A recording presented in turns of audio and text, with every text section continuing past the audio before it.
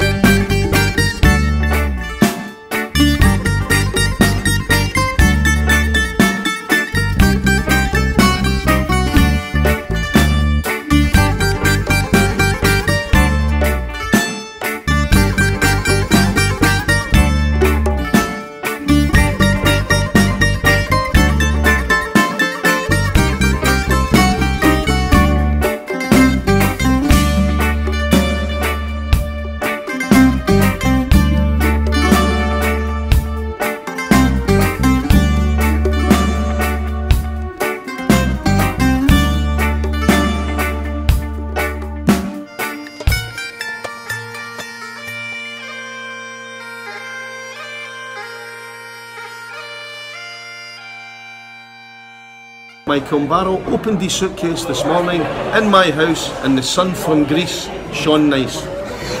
I actually Mason. think it was the Locomondo suitcase that opened. Bless my friend Ian Keynes as his Kumbaro from Kos. Yeah.